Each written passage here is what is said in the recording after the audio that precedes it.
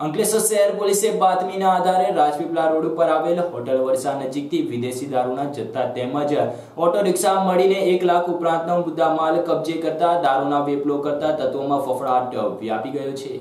અંકલેશ્વર શહેર પોલીસે બાતમીના આધારે રાજપીપળા રોડ ઉપર આવેલો વર્ષા હોટલ નજીકથી વિદેશી દારૂનો જથ્થો તેમજ ઓટો રિક્ષા ઝડપી એક લાખ ઉપરાંતનો મુદ્દામાલ કબજે કર્યો હતો. ભરૂચ જિલ્લા પોલીસ વડાની સૂચનાના આધારે અંકલેશ્વરમાં ચાલતી ગેરકાયદેસર દારૂ અને જુગાર જેવી બધીને નાબૂદ કરવા માટે અંકલેશ્વર શહેર પોલીસનો કાફલો પેટ્રોલિંગમાં હતા. દરમિયાન અંકલેશ્વરમાં વિવિધ બે જગ્યાએ દારૂનો જથ્થો ઝડપી પાડ્યો હતો. અંકલેશ્વર શહેર પોલીસને બાતમી મળી હતી કે રાજપીપળા રોડ ઉપર આવેલ વર્ષા હોટલ સામે સાયલોક રેસિડેન્સી એજન્સીના પાછળ બાવળની જાડીમાં એક ખંડેર જેવું મકાન હોય ત્યાં ટાળફળિયાના બે બુટલેગર શાહરૂખ પઠાણ તથા આસિફ પઠાણ દારૂનું વેચાણ કરે છે. બાતમીના આધારે પોલીસે રેડ પાડતા રેડ દરમિયાન બાતમીવાળી જગ્યાએથી તોતેર હજાર નવસોની વિવિધ બ્રાન્ડની વિદેશી દારૂની બોટલો તેમજ ટીન મળી આવ્યા હતા, જ્યાં પોલીસને જોઈને ત્રણે આરોપીને ભાગી છૂટવામાં સફળતા પ્રાપ્ત થઈ હતી. પોલીસે તોતેર હજાર ઉપરાંતના દારૂના જથ્થા તેમજ ઓટો રિક્ષા નંબર જીજે સોળ ડબલ્યુ ચારસો એકવીસની કિંમત રૂપિયા પાંત્રીસ હજાર મળી કુલ રૂપિયા એક લાખ આઠ હજાર નવસોનો મુદ્દામાલ કબજે કરી. ફરાર ત્રણેય આરોપી વિરુદ્ધ પ્રોહિબિશન એક્ટ હેઠળ ગુનો નોંધી ફરાર આરોપીને ઝડપી પાડવાના ચક્રો ગતિમાન કર્યા છે. વિનોદ પટેલ સાથે